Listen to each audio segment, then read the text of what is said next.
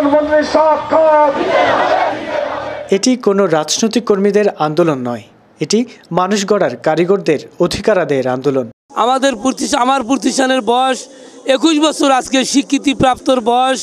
অদ্য পর্যন্ত আমাদের এমপিভুক্ত হচ্ছে না। এখন আমরা এমপি ভুক্তি চাই আমরা আর অন্য কিছু চাই না আমরা রাজপথে আমরা রাজনীতি করতে আসি নাই। আমরা শুধু এমপি ভুক্তি চাচ্ছি।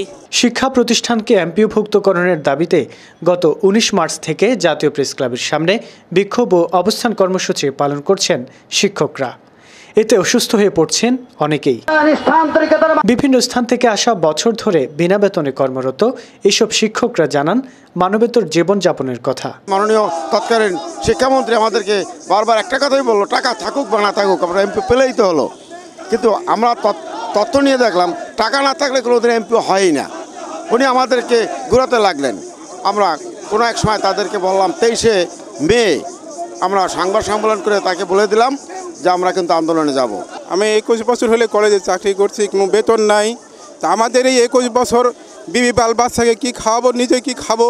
এমনকি এমনও কোনো দিন হয় যে বিপি আমার বাড়ি থেকে আমি রান্না করে হয়তো খাই কলেজে যেতে পারি না এমন অবস্থা হয়। দুটো ছেলে মেয়ে আমাদের কিছু।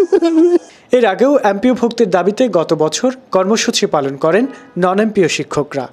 পরে সরকারের আশ্বাসে ঘরে ফিরে গেলেও দাবি বাস্তবায়ন না হওয়ায় চলতি বছরের জানুয়ারি থেকে আবারও আন্দোলন শুরু করেন নন এমপিও শিক্ষকরা রুকনুদ্দিন কর্ণফুলী সংবাদ ঢাকা।